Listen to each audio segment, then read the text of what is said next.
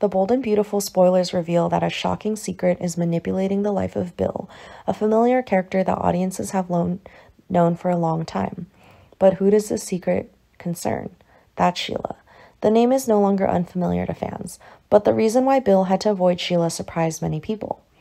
Although Bill and Sheila were once fierce rivals, it seems that now the tide has turned. Sheila is now not only an enemy, but also a ghost chasing Bill with a dark secret. Sheila accidentally learned information that Bill certainly wanted to keep hidden. According to some leaked news, Bill once committed murder and this could turn his life upside down. Sheila, with her sly and scheming personality, used this information as a weapon to threaten and dominate Bill.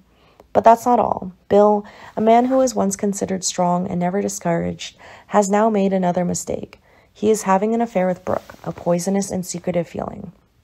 Secretly, but Sheila, with her sharp eyes, discovered them while they were giving each other a passionate kiss in the office. Not only does this make Bill worry about Sheila revealing their relationship, but it also adds to the pressure as Sheila has too many secrets about him. Just because of these secrets, Bill had to watch Sheila freely move around town. This story will definitely bring a lot of drama and surprises to the audience as they watch the development of the relationship between Bill and Sheila and the dark secrets behind it. It is revealed that the flow of emotions and dark intrigues has brought our protagonists to dangerous and unforeseen turns. When a heart full of hatred meets a blind love, what would be the outcome? Bill had long been suspicious of Sheila's schemes, and when he learned that Sheila was conspiring with Deacon to harm Steffy, his anger turned fierce.